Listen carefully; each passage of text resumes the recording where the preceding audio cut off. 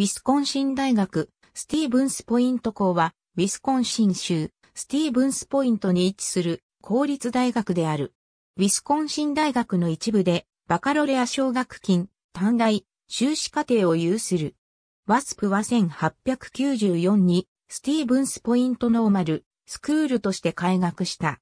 1927年、スティーブンスポイントノーマルスクールは4年制の教員養成大学になった。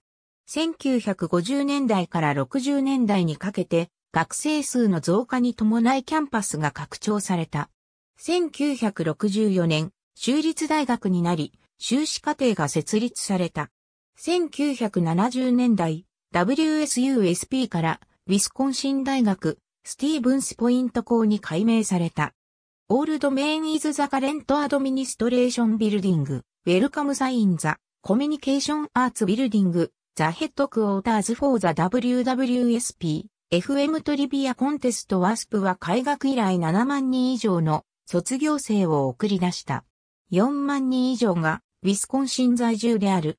WWSP-FM はウィスコンシン大学スティーブンスポイント校の放送局である。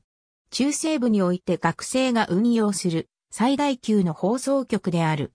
コマーシャルがなく 89.9FM の周波数で365日6時 AM から2時 AM まで放送している。WWSP は世界最大のトリビアコンテストを主催する。1969年に始まり長い伝統を持つ。